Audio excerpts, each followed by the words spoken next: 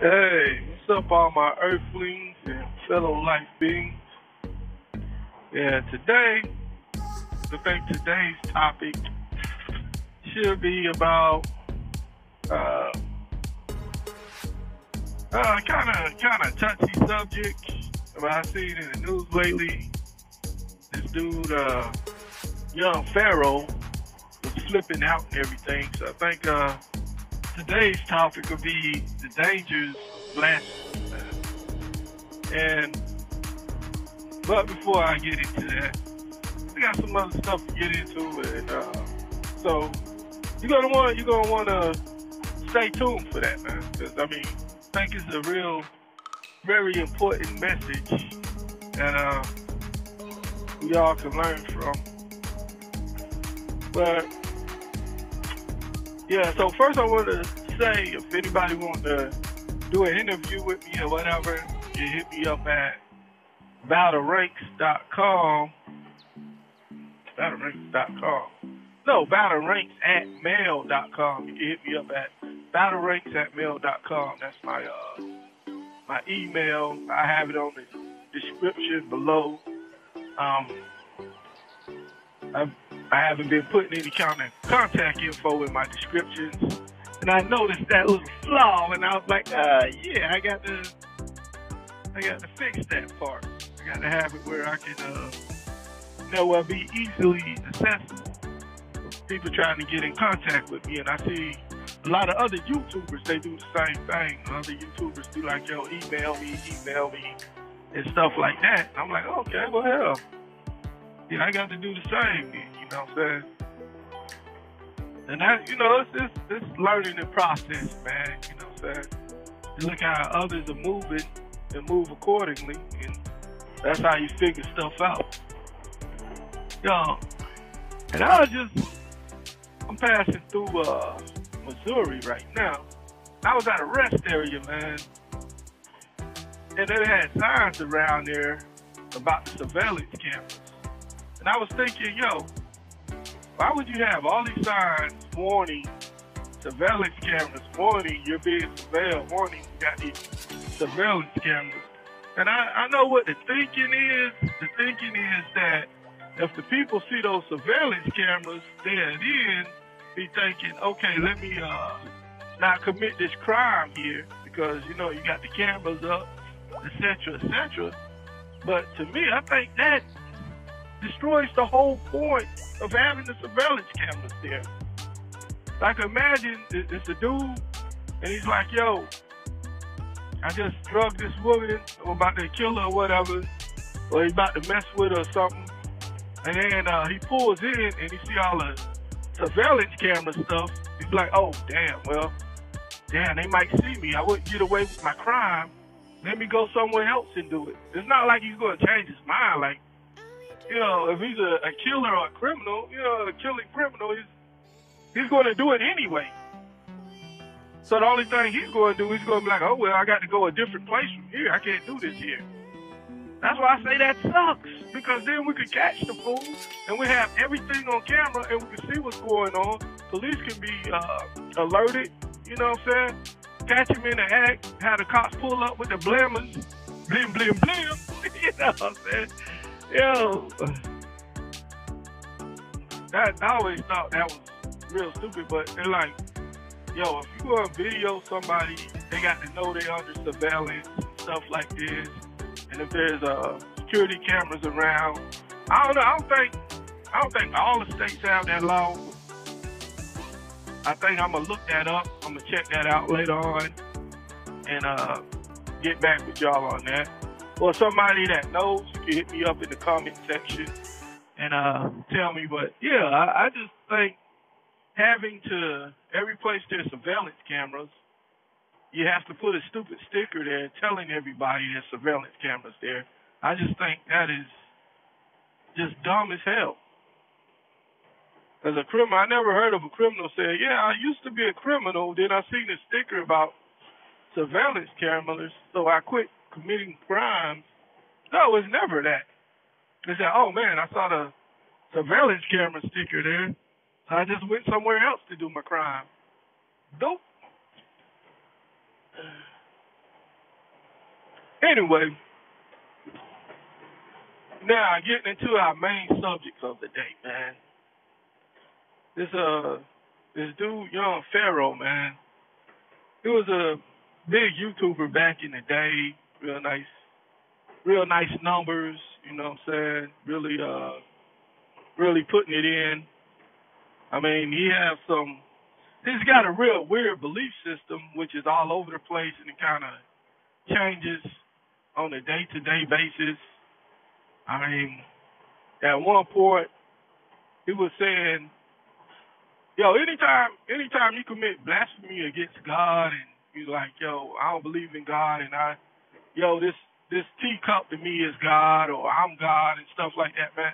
That comes back on you, whether no matter what your belief system is, because whether you believe in them or not, the punishment is the same, man. It was written. Now, uh, I'm not gonna go into scriptures or nothing like that. I'm gonna just say this right here. I digress. I was trying to make the point of. I said that to say this. He changed up a lot of times, but he kind of started off with the black women was God and this and that. Yeah, you know. Now, once he made his money and he moved to Cali, he kicked his black woman out the house for a white woman, which, hey, you love who you love, man. I don't care what the skin color is, man. I mean, I think all that racial crap, you know what I'm saying? Ain't nobody ain't nobody into that type of crap, but the race the top race baiters that's getting paid off of that. You know what I'm saying? The race hustlers make their good money by kicking all that stupid shit. That they don't yo, he he obviously don't even believe in the crap he's saying. I mean so anyway, so yeah, so he kicked his so called God out the house. oh man. And um to me I think it's just uh the whole the whole blasphemy coming full circle, man like they say, you got to you got to reap what you sow, man. The seeds that you sow in the ground, that's the fruits that you're going to receive, man, in life. So, I mean, he was kiki he he it up and very disrespectful towards Christians. I mean, it's like, yo, he was he's actually disrespectful to all groups. I don't care what your religion, because he goes just as hard at Muslim, uh, Hindu, whatever. He don't care what your religion is. Uh, this dude's like banging on everybody. I mean, which I always thought was like, uh, mm, just uh, some kind of weird type of stuff. But um, yeah. So you know, the judgment's just the same, man. And you know, the whole time he was like like committing this blasphemy and saying some of the most disrespectful stuff, like you know, uh, yeah, he'll like cuss out God. You know, he'll say God and start cussing and saying some of the most foulest, filthiest stuff you ever heard in your life, man. And you're like, yo, yo, this dude's gonna get punished, man. anybody with common sense will be like, yo, I'm about to get away from this. Uh, yeah, I won't be nowhere near this dude when his punishment come, I'm about to go the other way, bro. I see where this going. I've seen this show before. Anytime a man go out his mind like that right there, man, the, uh, the punishment should, oh, it's coming. No matter your belief system, the punishment is the same. You can be ignorant of the law, the punishment is the same, bro. And it's, it's not that he's ignorant of uh ignorant of the law, man. You know God's law. Oh, he studied the book well. He even he even uh quote scriptures. So I mean, he can't even play that. You know what I'm saying? Like he didn't know what he was doing. Matter of fact, if he's trying to uh twist some words around and prove a little point, that fool even quote scriptures in, in his little stupid videos. You know what I'm saying? So, man, it was like it was a long time coming, and you know it, it was always going it was always going to rain on his head. And, you know, it just finally came that day, man. So he's got a little video he's done the other day, and uh, he's like babbling, talking all crazy and junk, looking all weird in the camera, looking like he uh smoked out on something. And some people are saying that he's allegedly on mushrooms, but eh, I don't know the way he acting. I, I don't. I think mushrooms supposed to just have you like hallucinating, like you see stuff that's not there or whatever. I wouldn't know. I don't. I don't take chances like that. I ain't no drug head or nothing like that. But uh, but to me, it seemed more like he was on this drug that they call Flakka. And if you never heard of the drug Flakka, it uh it mess you up and it has you just jumping and running around. Uh, you feel like you're burning up, and you, they usually usually start pouring water all over themselves and stuff, trying to, you know, because they burn it. You know, they're trying to take the put the flames out. uh, so, I mean, when you commit blasphemy, you don't have to wait till you die to burn. You you could burn right here on the planet, man. You can still be living and breathing, and be in hell right here on planet Earth. And that was a perfect example. So I would say anybody that want to commit hardcore blasphemy like this dude, look at his example and be like, yo, do I want that to be me? Do I want to go insane and lose my mind? Do all this other stuff? So yeah, so he got he was on the phone talking to somebody. Was kind of weird because it was like white people this, white people that, but no, not the the white people that I'm cool with. Now I don't, uh, you know, but those other white people, the evil white people, they're like, yo, bro, you like all over the place, man. You could tell there was something wrong with him. And then he was like, uh, uh, oh yeah, uh, that's when he started like just flipping out. You could tell he was kind of his mind was all jungled, jumbled up. He uh, gave out his address. Like he said, he didn't have no weapons. His gun got took. All he had was a knife, and then he gave out his address. Like he's trying to get robbed or because you flash a lot of jewelry. You talk about this money you got. Somebody might come see you, man. Somebody might want that more than you. And they might value your jewelry over your life, man. They might value your money and your little your little jewelry and trinkets over your life, bro. But if you was in your right mind, you wouldn't invite nobody to your house like that. You definitely wouldn't put your address on the internet like that, man. And then he kept saying Waka Flocka. And that to me, I'm thinking that was more of a code of the drug that he was puffing on allegedly. You know what I'm saying? I don't know what he was doing. Maybe he was straight sober. Maybe it wasn't no drug. So I have to say allegedly. I mean, you don't see him on the video with no pipe in his mouth or nothing like that. So the only thing you can say is allegedly, but either way, the mind wasn't there. You know what I'm saying? and he said Waka Flocka like a bunch of times, man. And he was like, gave out his address, said he only want Waka Flocka to show up and to bring one person with him. Whoever Waka Flocka wanted to take with him. I'm like, what is this dude even talking about? This this isn't making sense here. Why would Waka Flocka go to a crazy person's house? Yo, you, you think about that, man. Why would Michael Flocka be like, yo, what? What, what is this dude talking about? oh, man. That's like saying, yo, yeah, I want this big time, well known rapper that got everything in the world to lose if something go bad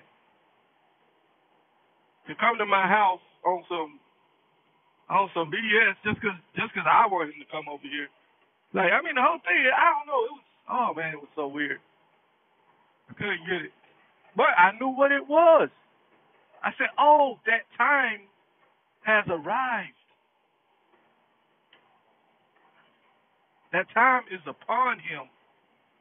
Listen, you only have so much time when you do stuff like that and commit blasphemy towards God like that.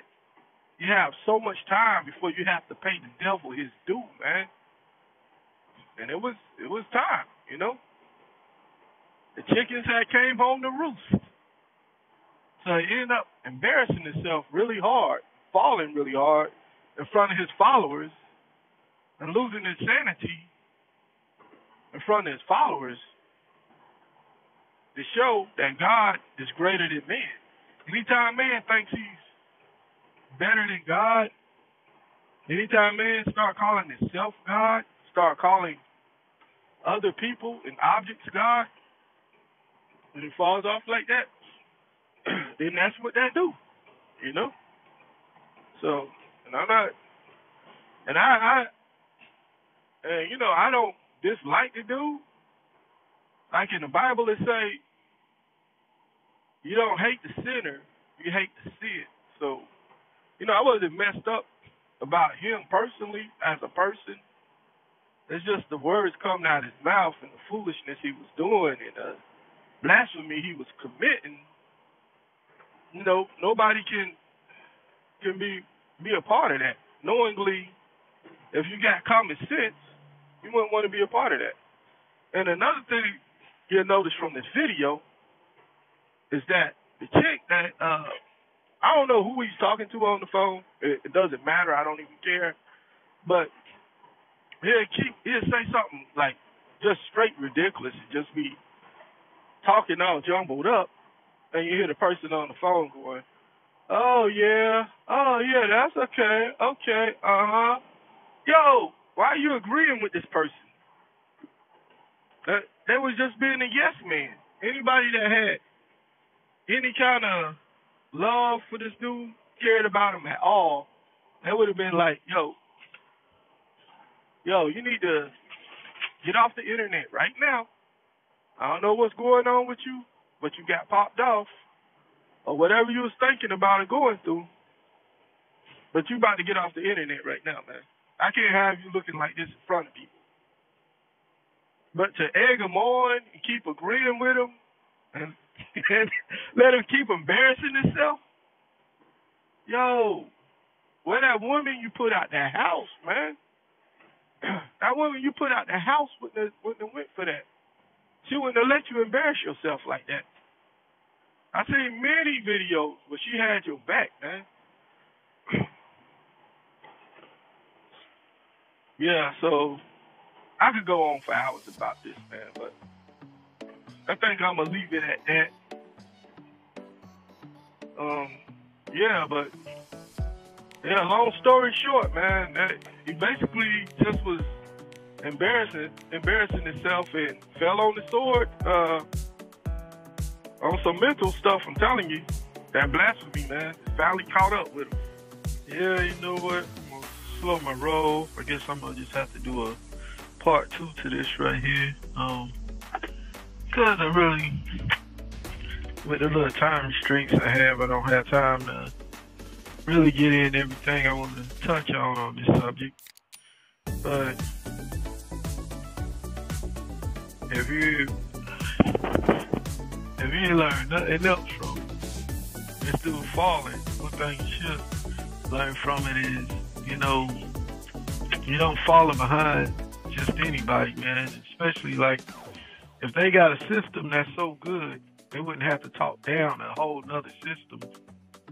Or in this case, hell, he talked about every religious system there is. So I mean, he's kind of all over the place with it. I don't know. Uh, whatever his uh, whatever his views were, I think was basically just do whatever. I, I don't know. There's no clear, you know what I'm saying? Yeah. Don't come, don't go to church, follow me. Man, follow you where? You know what I'm saying? I'm not going to just follow you to hell or something like that, man. You got to have a, you got to have a clear path and know what you're doing and have a route. What's the goals? What are your followers going to? I mean, this is weird. And when you follow behind a man, you have to think of how many years he's been on this planet. You know what I'm saying? Not sure what age young Pharaoh is, so let's just say whatever age he is, whether he's in his 20s or or a little older. Uh, what's 20 years to God? You know what I'm saying? If I'm, if my tribe is following the book that was on this planet 5,000 years before this guy was born. Again, what's 20 years to God, man? That's not even two seconds. It's like, come on, man. Uh, the book was here before he was born. Once he leaves this planet, the book will still be here. So, uh, I don't know. It's up to the person you make your choice. But like I said, I was kind of long, so uh, I gotta get back to work. Just come out with a part two. That's what I'm gonna do, man. That's what's up. Uh, listen. Yeah, if you wanna holler at me, interview, debates, whatever, you can just uh hit my email in the description below. Um, until next time, and right about this time, as I usually say, man, y'all be blessed and, you know, just treat everybody right. You know, try to live righteous, man. Just do good, man. That's all. Uh, and with that, about this time, like I usually say, hey.